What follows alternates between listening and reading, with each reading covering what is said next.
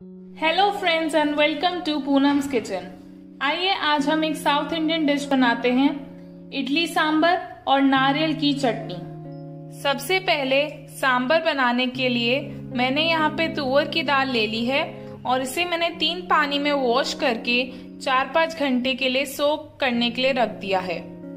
अब हमें सांबर के लिए एक टेबलस्पून लाल मिर्ची पाउडर दो टेबलस्पून सांबर मसाला एक टेबलस्पून नमक, दो बड़े चॉप्ड अनियन एक टेबलस्पून जीरा, एक टेबलस्पून हल्दी पाउडर एक टेबलस्पून राई दो कटी हुई लाल या हरी मिर्ची और दो कटे हुए टमाटर।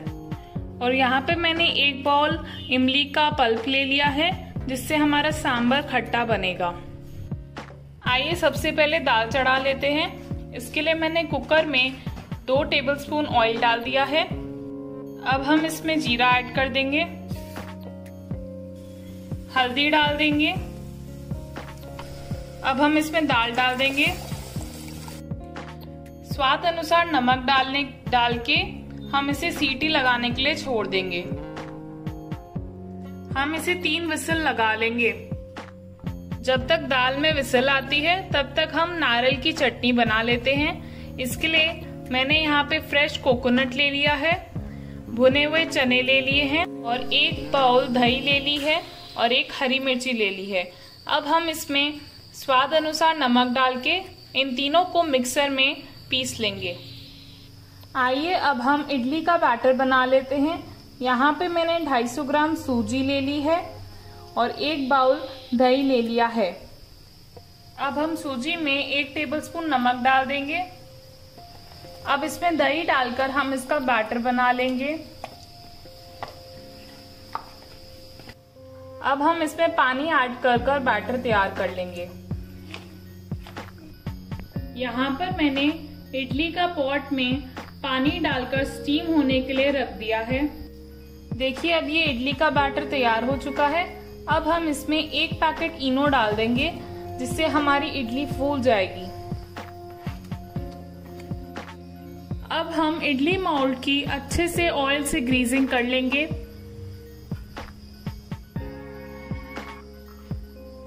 अब हम इसमें इडली वाला तैयार हुआ बैटर हम इसमें डाल देंगे।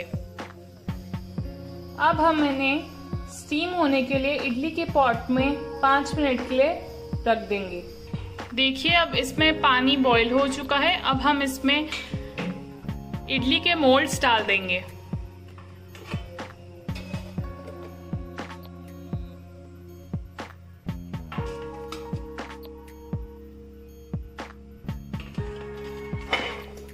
और इसे अब हम ढक्कन से ढककर पाँच मिनट के लिए स्टीम होने के लिए छोड़ देंगे। इसे हमें मीडियम फ्लेम पे रखना है। आइए अब हम सांबर का मसाला तैयार कर लेते हैं। इसके लिए मैंने फ्राइंग पैन में दो टेबलस्पून ऑयल ले लिया है। अब हम इसमें एक टेबलस्पून जीरा डाल देंगे। दो साबुत लाल मिर्च डाल देंगे। अब प्याज ऐड कर देंगे। अब हम इसमें हरी मिर्ची डालकर अनियंस को थोड़ी देर सॉफ्ट होने देंगे। अब हमारी दाल रेडी हो चुकी है। अब हम इसमें मसाला तैयार करके डाल देंगे। अब हम इसमें टमाटर ऐड कर देंगे। अब हम इसे पका लेंगे। अब हम इसमें नमक, हल्दी, लाल मिर्च सांबर मसाला डाल देंगे। अब हमारा ये मसाला रेडी हो गया है। अब हम इसमें थोड़ा सा पानी डाल देंगे। यहाँ पे हमारी इडली रेडी हो चुकी है। हम इसमें नाइफ डाल के चेक कर लेंगे। अगर ये चिपक नहीं रही है तो हमें पता चल जाएगा कि हमारी इडली बन चुकी है। अब आप इसका गैस गैस ऑफ़ करके बाहर निकाल दीजिए। हमने जो मसाला रेडी किया था, वो हमने इसमें डाल दिया है। और इसमें हम थोड़ा पानी डाल देंगे। अब हम इसमें इमली का पल्प ऐड कर देंगे। हमने यहाँ पे इडली निकाल ली है। अब इसे हम थोड़ा सा कूल डाउन होने के लिए रख देंगे। फिर हम इसे प्लेट्स में निकाल लेंगे। अगर आपकी सांबर गाढ़ी बनी है तो आप इसमें थोड़ा और इमली का पल्प ऐड कर सकते हैं। अब यहाँ पे हमारी सांबर रेडी हो चुकी है। अब हम इडली इस तरीके से निकाल लेंगे और प्लेट में सर्व कर देंगे।